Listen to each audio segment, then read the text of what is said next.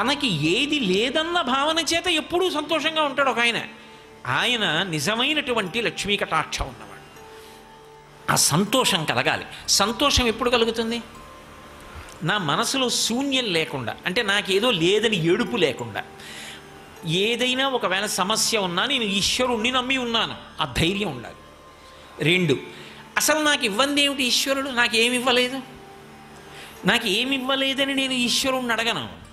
నాకు ఎప్పుడెప్పుడు ఏది కావాలో ఆయనకి తెలుసు. నాకు ఎప్పుడెప్పుడు ఏది కావాలో అది ఆయన అమరుస్తాడు.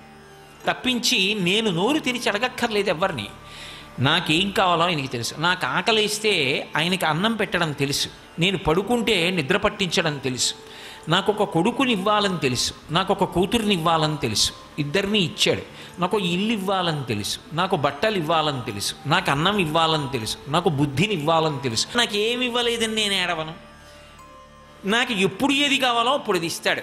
నాకు అవసరం వచ్చింది. నేను ఒకరి దగ్గరికి వెళ్ళి ఇలా అడగక్కర్లేదు.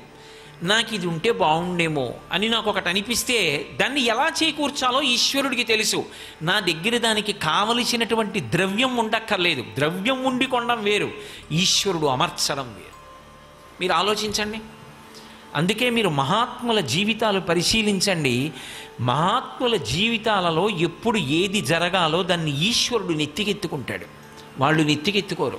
త్యాగరాజస్వామి వారి జీవితంలో ఆయన కూతురు పెళ్ళి ఎవరి నెత్తికెత్తుకున్నాడు? రామచంద్రమూర్తి నెత్తికెత్తుకున్నాడు. ఆయన ఏం చేశాడు? అంటే ఎవరో దూరం నుంచి ఓ రామచంద్రమూర్తి చిత్రపటాన్ని పట్టుకొచ్చారు. ఆయనకి రాముడి ఫోటో కనపడలేదు. అంత దూరం నుంచి నా కోసం నడిచొచ్చావా? నన్ను పాలింపగా నడచి వచ్చితివా అని పొంగిపోయాడు. యోగరతో వా భోగరతో వా సంగరతో వా సంగవిహీన ఎస్య బ్రహ్మణి రమతే చిత్తం నందతి నందతి నందత్యేవ. ఎప్పుడూ సంతోషమే. ఆ సంతోషం ఉంటుంది కాబట్టే వాళ్ళు అన్ని చేయగలరు. ఆ సంతోషం ఉండకుండా ముందు అన్నిటికీ భయపడతాం కాబట్టే మనం చేయలేకపోతాం. లక్ష్మీ కటాక్షమున్నది అన్న మాటకు అర్థం అది. ఎవరి ఎందు లక్ష్మీ కటాక్షము విశేషంగా ఉంటుందో వాళ్ళు అనితర సాధ్యమైన కార్యాలు చేస్తారు. అందుకే ముప్పై రెండు సంవత్సరాల్లో శంకర భగవత్పాదులు యావత్ భారతాన్ని పాదచారి అయి పర్యటించారు.